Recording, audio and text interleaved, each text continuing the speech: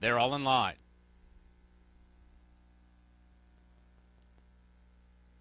And they're up.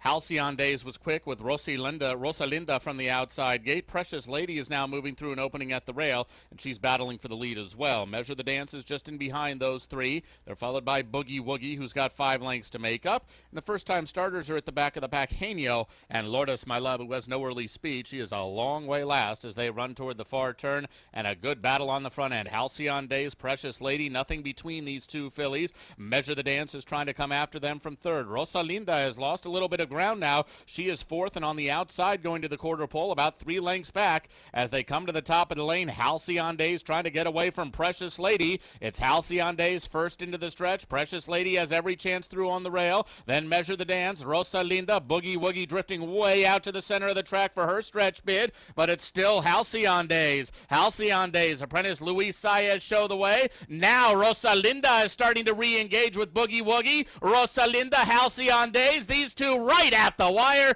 Either Halcyon Days or Rosalinda. Boogie Woogie was third.